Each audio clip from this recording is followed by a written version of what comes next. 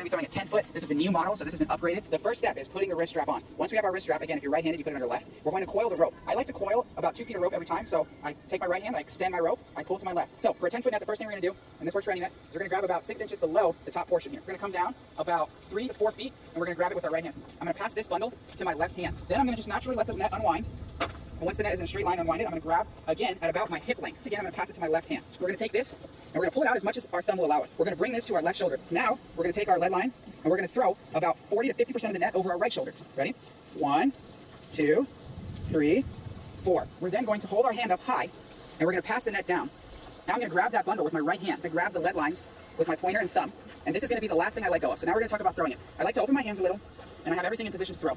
When I throw, I'm gonna bring it down to my left and I'm gonna launch it off with my right hand. As I launch my right hand, I'm gonna extend my right arm into a circle, but I'm gonna hold these two. That's the most important detail. I'm gonna hold these two, and it's gonna allow the rest of the net to open with my momentum as I hold these.